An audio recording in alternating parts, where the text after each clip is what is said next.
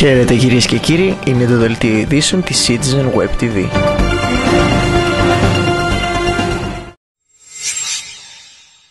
Την αντίδραση της Ένωσης Συντακτών Ημερησίων Εφημερίδων Μακεδονίας Τράκη προκάλεσε η απομάκρυνση δημοσιογράφου της ΕΡΤ3 από την κάλυψη των εορταστικών εκδηλώσεων τον περασμένο τριήμερο, καθώς έκανε λόγο για την ισχυρή αστυνομική παρουσία έξω από τον ναό του Αγίου Δημητρίου στη Θεσσαλονίκη κατά τη διάρκεια της επίσκεψης του Προέδρου της Δημοκρατίας και του Πρωθυπουργού. Η ΕΣΥΕΜΘ σε ανακοίνωσή της κάνει λόγο για πρωτοφανή απαξίωση του ρόλου της δημοσίας τηλεόρασης και για περιφρόνηση του δημοσιογραφικού έργου ενώ σημείωσε ότι το ρεπορτάζ του συγκεκριμένου δημοσιογράφου ενόχλησε τον Γενικό Διευθυντή Ενημέρωσης της ΕΡΤ Εμίλιο Λιάτσο. Κόντρα στην τάση που θέλει τις αεροπορικές εταιρείες να εγκαταλείπουν το αεροδρόμιο της Θεσσαλονίκης, κινούνται οι κυπριακές αερογραμμές που όχι απλά πυκνώνουν τα δρομολόγια από και προς Αθήνα, αλλά παράλληλα συνδέουν από χθες την πόλη με τη Ρόδο και το Ηράκλειο. Την ίδια στιγμή η Κυπριακή εταιρεία εξετάζει και το ενδεχόμενο άμεσης δρομολόγησης ναυλωμένων πτήσεων charter για τη σύνδεση της πόλης με το εξωτερικό, όπως γνωστοποίησε σήμερα στη διάρκεια παρουσίασης στη Θεσσαλονίκη ο πρόεδρος του αερομετοφορέα Σταύρος Σταύρου. Την πρόθεσή του να κατασκευάσει και να εγκαταστήσει στη Θεσσαλονίκη άγαλμα του Κυρίλου και του Μεθόδιου εξέφρασε ο Δήμαρχος Γιάννης Μπουτάρης. Όπως είπε, πονάει η ψυχή μου όταν βλέπω τους Σκοπιανούς να βάζουν πλάκα στο άγαλμα των δύο Αγίων στο Βατικανό χαρακτηρίζοντάς τους Μακεδόνες.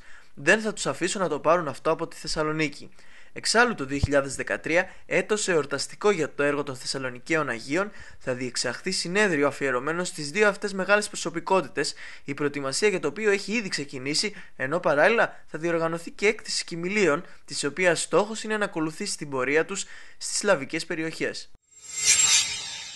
Ροζ θα φωταγωγηθεί αύριο ο Λευκός Πύργος στο πλαίσιο της εκστρατείας κατά του καρκίνου του μαστού. Οι γυναίκες μέλη του Συλλόγου Άλμα Ζωής θα συγκεντρωθούν στις 5 το απόγευμα μπροστά από το μνημείο της πόλης και στο πλαίσιο της εκστρατείας κατά του καρκίνου του μαστού θα σχηματίσουν με ροζ μπαλόνια το διεθνές σύμβολο πρόληψης του καρκίνου του μαστού, το ανθρώπινο κορδελάκι. Στο δίκτυο μαρτυρικών πόλεων εντάχθηκε η Θεσσαλονίκη. Η απόφαση αυτή αναγνωρίζει και αναδεικνύει τις τραγικές στιγμές της ιστορίας της κατά την περίοδο της ναζιστικής κατοχής και τη θηριωδία που επέδειξαν οι κατακτητές απέναντι στους Έλληνες χριστιανούς και Εβραίους συμπολίτες μας.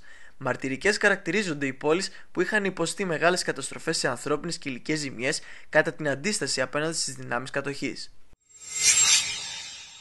Φρένο στα σχέδια της Μητρόπολης Θεσσαλονίκης να αναγείρει η μονάδα φροντίδας ηλικιωμένων και πασχόντων ατόμων σε αναδοσοτέα έκταση στο πανόραμα, βάζει το Συμβούλιο της Επικρατείας. Με απόφαση που εξέδωσε την προηγούμενη εβδομάδα, ακυρώνει την παραχώρηση της εν λόγω έκτασης φιλέτου 32 στρεμάτων που εγκρίθηκε το 2008 με απόφαση του τότε νομάρχη Παναγιώτη Ψωμιάδη και επικυρώθηκε στο Νομαρχιακό Συμβούλιο τον Φεβρουάριο του 2009. Επί της ουσίας, το Συμβούλιο της Επικρατείας ακύρωσε συνολικά πέντε αποφάσεις που αφορούν την παραχώρηση της έκτασης, τους περιβαλλοντικούς όρους, την άδεια οικοδομής, τους όρους δόμησης και τη μελέτη άρσης λειτουργίας του ρέματο.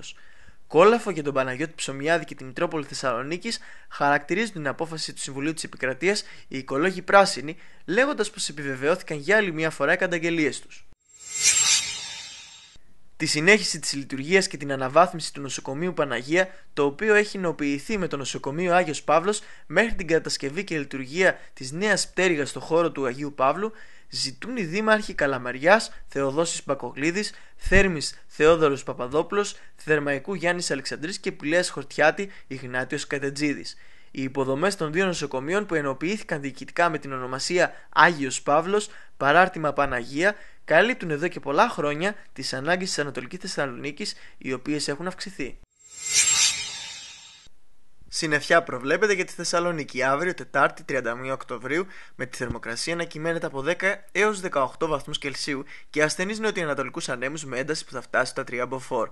Μετά το μεσημέρι της ίδιας ημέρας ο καιρός θα είναι βελτιωμένος με σποραδική συννεφιά και το θερμόμετρο θα φτάσει στους 15 βαθμούς Κελσίου με διατήρηση των ανέμων από ανατολική διεύθυνση και ένταση μέχρι 3 μποφόρ.